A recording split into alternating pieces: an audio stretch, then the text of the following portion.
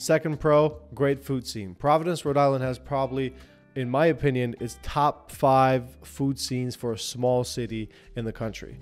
I guarantee you that. I eat a lot, and I've been, you know, to big cities like New York, Boston, LA, all this. They all have great restaurants, but for a small city like Providence, the variety of food and the different restaurants that you can go to, mind blowing. Like it is absolutely insane. So I want you to keep that in mind.